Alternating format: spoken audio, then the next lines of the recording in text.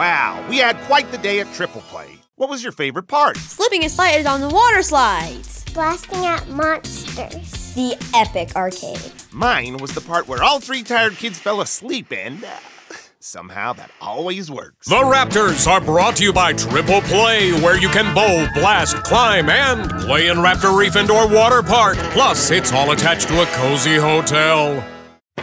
How's babysitting? Shh, don't wake them.